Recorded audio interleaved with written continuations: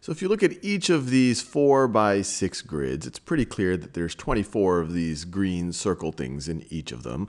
But what I want to show you is that you can get to 24 as the product of three numbers in multiple different ways. And it actually doesn't matter which products you take first or what order you actually do them in. So let's think about this first. So the way that I've colored it in, I have these three groups of four. If you look at the blue highlighting, this is one group of four, two groups of four, three groups of four. Actually, let me make it a little bit clearer. One group of four, two groups of four, and three groups of four. So these three columns you could view as 3 times 4. Now, we have another 3 times 4 right over here. This is also 3 times 4. We have one group of 4, two groups of 4, and three groups of 4.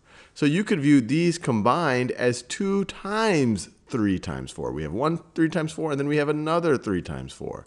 So the whole thing we could view as, the whole thing we could view as, let me get my, give myself some more space, as 2 times, let me do that in blue, 2 times 3 times 4. That's the total number of balls here. And you can see it based on how it, was, how it was colored. And of course, if you did 3 times 4 first, you get 12. And then you multiply that times 2, you get 24, which is the total number of these green circle things. And I encourage you now to look at these other two, pause the video, and think about what these would be the product of. First looking at the blue grouping, then looking at the purple grouping in the same way that we did right over here, and verify that the product still equals 24. Well, I assume that you've paused the video. So you see here in this first, in this first, I guess you could call it a zone, we have two groups of four. So this is two times four right over here. We have one group of four, another group of four. That's two times four. We have one group of four, another group of four. So this is also two times four if we look in this purple zone. One group of four, another group of four. So this is also two times four. So we have three two times fours. So if we look at each of these or all together, this is 3 times 2 times 4. So 3 times 2 times 4. 2 times 4. Notice I did a different order and I'm and I'm here I did 3 times 4 first. Here I'm doing 2 times 4 first. But just like before, 2 times 4 is 8. 8 times 3 is still equal to 24, as it needs to, because we have exactly 24 of these green circle things.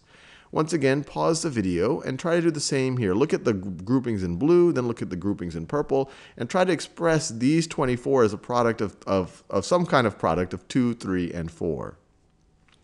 Well, you see first we have these groupings of 3. So we have one grouping of 3 in this purple zone, two groupings of 3 in this purple zone.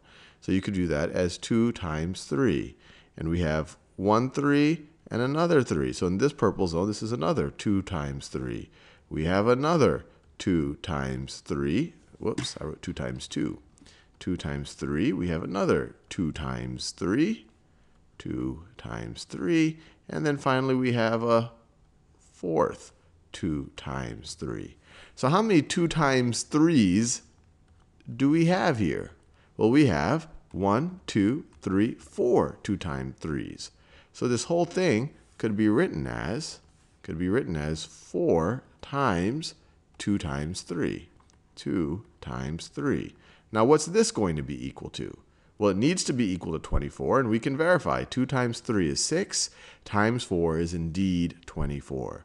So what I'm, the whole idea of what I'm, what, I'm, what I'm trying to show here is that the order in which you multiply does not matter. How you associate it, this is some, let me make it, this very clear. So whether you do, let me pick a different example, a completely new example. So let's say that I have let's say that I have 4 times 5 times 6.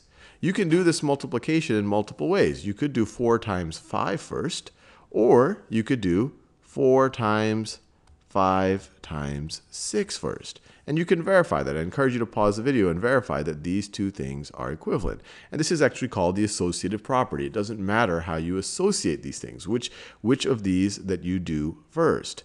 Also, order does not matter, and we've seen that multiple, multiple times. Whether you do this or you do 5 times 4 times 6, notice I swapped the 5 and 4, this doesn't matter. Or whether you do this or 6 times 5 times 4. Doesn't matter. Here I swapped the 6 and the 5 times 4. All of these are going to get the exact same value, and I encourage you to pause the video. So when we're talking about which one we do first, where we, where we, which, whether we do the 4 times 5 first or the 5 times 6, that's called the associative property. It's kind of a fancy word for, for a reasonably simple thing. And when we're saying that order doesn't matter, whether, where, when it doesn't matter whether we do 4 times 5 or 5 times 4, that's called the commutative property. And once again, fancy word for a very simple thing, just saying it doesn't matter what order I do it in.